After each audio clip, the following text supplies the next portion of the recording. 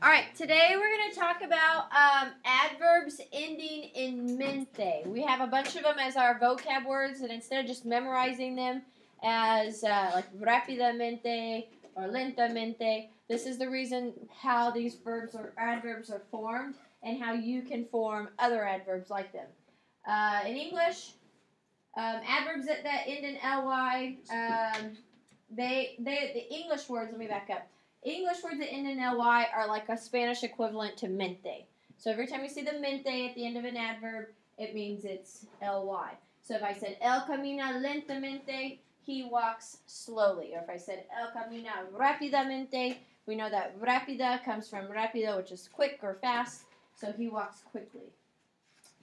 Um, if this is how you form it, to make them, you take the feminine form of the adjective.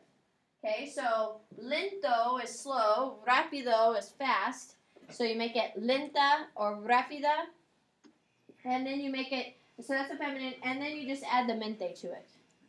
So this, uh, like unfortunate, okay, desafortunado is the adjective. You change it to desafortunada and add the mente. So, ¿estás lista para la playa? Are you ready for the beach? Desafortunadamente, no. Unfortunately, no.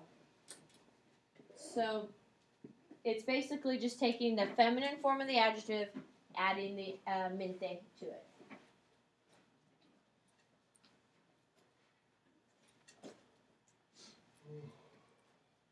Anybody have questions on that? I'm going to do a couple of examples. Oh, that's kind of weird that animation came up at the top. Okay. Adverbs tell you um, how an action takes place quickly, slowly, reluctantly. Okay, you know that. Okay. Um, so keeping in mind that it's telling you. Well, hold on a second. It's like the same thing. What's going on? All right, whatever. If the adverb doesn't have a masculine form um, or a feminine form to it, it's just single, like um, you just add the mente to it. So frecuente, that's not masculine or feminine. So if it can go both ways, you just add the mente to frecuente. So frecuentemente. So that's really the only thing you need to know on top of that, um, except accents. So accents are always funny. If the adjective has an accent, then it's going to stay when you add the mente. If it didn't have an accent, then you don't need any accents. So whatever the adjective form is, accent or no accent, add the a ending, and then add the mente. So the word feliz, happy, has no accent, but um, the word this is funny. The word feliz does not have an accent, because, so it becomes felizmente. But fácil does have an accent, so it's going to be fácilmente. Both of those are um, not gender specific. They're not masculine or feminine. They kind of go with both.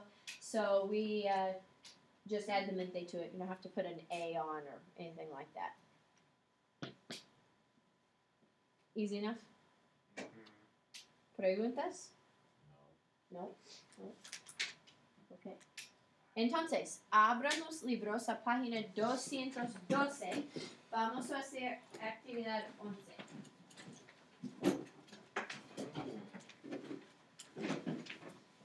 Or 213.